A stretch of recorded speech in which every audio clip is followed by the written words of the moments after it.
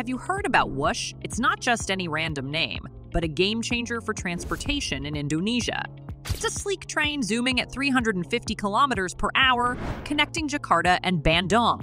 That's like traveling from one end of a football field to the other in just over a minute. That's crazy, right? If you want to see what this incredible tech design has to offer, watch this video to the end as we introduce to you Whoosh. Kereta Cepat Indonesia's first high-speed rail. Kereta Cepat Indonesia high-speed rail is a remarkable transportation project that's been making waves in Indonesia. But don't worry, we'll keep it simple and easy to understand. So, hop on board and let's get started. The reason for the name Whoosh Whoosh is Indonesia's very first high speed rail, and it's making quite a splash. It covers a distance of about 140 kilometers, linking the bustling city of Jakarta to the charming town of Bandung in West Java. Now, here's the exciting part you can travel from Jakarta to Bandung in less than one hour. That's quicker than some folks take to get ready in the morning.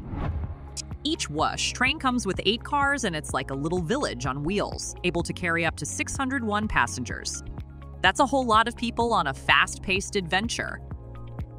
And here's a fun fact the name WHOOSH is actually an acronym. It stands for Waktu Hemat Operasi Optimal Sistem Hebat, which translates to time saving, optimal operation. Great system in Indonesian. Catchy, right? It's like they wanted to make sure you know you're in for a smooth and efficient ride. So, whether you're a local looking for a quick getaway or a traveler eager to explore, Whoosh is here to whisk you away to your destination in no time. It's riding in style on the Whoosh. And price tag. So, when you hop on board, you've got options. Three classes of seats to be exact first class, second class, and even VIP seats for those who want a bit of extra pampering. First class is the top notch experience. You get more space to stretch out, luggage storage for your stuff, and a comfy footrest. It's like having your own little oasis of comfort. Plus, everyone, no matter the class, gets to enjoy in train Wi Fi and USB charging. That means you can stay connected and powered up throughout your journey. Imagine streaming your favorite shows or getting some work done while you zip along at high speed. Now let's talk about the price tag. For first class, you're looking at an estimated one way fare of around 300,000 rupiah, which is roughly $19.40. It's a bit pricier, but hey, you're getting the royal treatment. For second class, it's a tad more budget friendly at about 250,000 rupiah. You still get a comfy ride, just with a bit less frill. And if you're feeling extra fancy, there are VIP seats available for around 350,000 rupiah. That's the premium experience right there. And we dare not forget the initial free ride offer. During the launch ceremony, they surprised everyone by saying rides will be free until mid October. Who doesn't love a little freebie? It's the perfect chance to try out the different classes and see which one suits you best. So, whether you're all about the luxury of first class, the comfort of second class, or the VIP treatment, Whoosh has got you covered.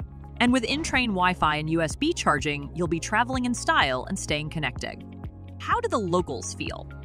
People have different feelings about Whoosh. Some folks had a great time during the test rides and are looking forward to using it often. They say the ride was enjoyable and are excited about the convenience it brings, especially for those with family and friends in Bandung.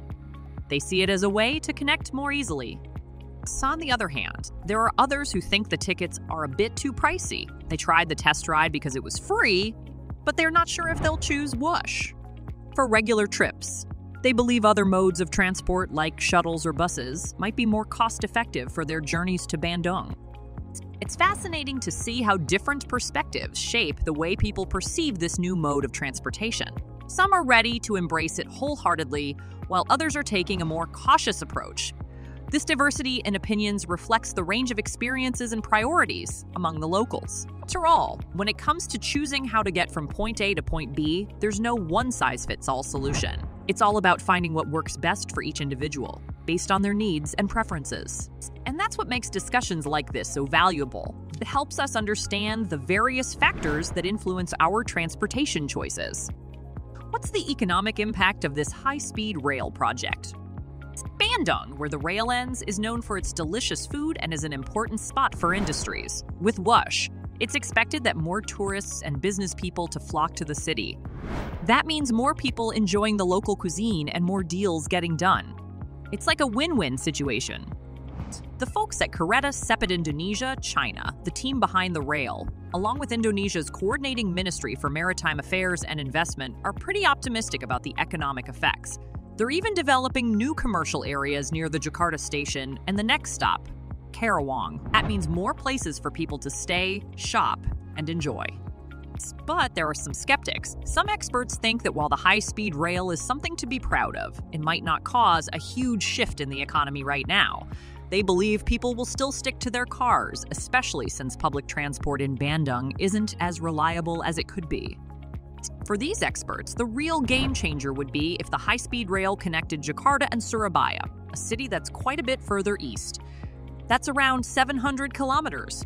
Now, that would really shake things up economically. So, in a nutshell, the economic impact of Whoosh is a bit of a mixed conceptions. There's excitement and optimism about the potential growth in Bandung's tourism and business sectors. But there are also those who think the real game changer would be if it connected even bigger cities. Only time will tell how this high speed adventure will shape Indonesia's economic landscape. What's coming next for the WHOOSH, Kereta Indonesia high speed rail? President Joko Widodo has some grand plans in mind. He's not stopping at Bandung. Oh no! He's got his sights set on connecting even more major cities. This is about a network of high speed trains zooming across Indonesia, linking vibrant cities and cultural hubs. President Widodo envisions extending the rail beyond Bandung to reach places like Kertajati, Yogyakarta, Solo, and all the way to Surabaya. That's like creating a super fast highway for trains. Now, why is this such a big deal? Well, imagine the possibilities. People could easily hop on a train and explore these incredible cities in no time at all. It opens up a whole new world of opportunities for travelers, business folks, and adventurers alike. Let's break it down a bit. Kertajati is known for its bustling airport and potential as an economic hub. With the high speed rail reaching here, it could mean smoother connections between air and rail travel making it a breeze for both tourists and business travelers. Yogyakarta, on the other hand, is a cultural treasure trove. From ancient temples to vibrant markets, the city has it all. Extending the rail here would mean easier access for people wanting to soak up the rich heritage and artistic vibe of Yogyakarta. Solo or Surakarta is another gem. Known for its traditional Javanese culture, Solo is a city of elegance and history. Imagine being able to hop on a train and explore the palaces, museums, and markets that define this unique city. And finally, Surabaya, the bustling heart of East Java. This city is a powerhouse of industry and commerce. With a high speed rail connection, it would be a game changer for businesses and commuters, streamlining travel between the capital and this economic powerhouse. President Widodo's vision is an exciting prospect, and we'll be keeping a close eye on the tracks to see where this high speed adventure takes the country next. What's the budget for the high speed rail? All right, let's talk about the price tag for this high speed rail project. It's a big deal, and the numbers might surprise you. The Jakarta Bandung High Speed Rail project began in January 2016 and is set to start operating commercially in October 2023. This railway covers a distance of 142.8 kilometers at a top speed of 350 kilometers per hour. Originally, they thought it would cost around $5.5 billion to make the Jakarta Bandung route a reality. But as things progressed, the expenses went up a bit. Now, the estimated cost is between $7.2 billion to $7.5 billion. That's a significant increase, isn't it? It's an ambitious venture aimed at significantly reducing travel time between Greater Jakarta, home to over 34 million people, and Greater Bandung, with a population of 11 million. This railway will serve a grand total of 45 million individuals. Now, you might wonder why the price went up. Well, building something as complex as a high speed rail involves a lot of factors. There are materials, technology, labor, and unexpected challenges that can pop up along the way. And when you're talking about a project of this scale, even small changes can lead to big differences in the final cost. During construction, 11 train sets of the KCIC400AF model, a derivative of CR400 AF, were employed. These train sets, manufactured by CRRC Qingdao Sifang, are a vital part of this high speed rail initiative.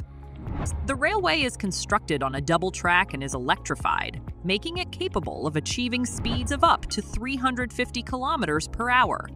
This puts Indonesia in an elite group of countries with the fastest commercially operated railway networks in the world, on par with China. The project has faced its fair share of challenges. These include delays in land acquisition, leading to a temporary halt in construction. Due to the COVID 19 pandemic, However, despite these hurdles, progress steadily continued. By September 2022, construction had reached an impressive 60%, and land acquisition had achieved a commendable 100%. So there you have it, a simple and exciting overview of Whoosh, Kereta Indonesia high-speed rail. It's changing the way people travel in Indonesia, and who knows, it might just be the first of many high-speed adventures in this beautiful country. Thanks for joining us on this thrilling ride. Don't forget to hit that like button and subscribe for more updates. Thanks for being here, and we'll catch you next time.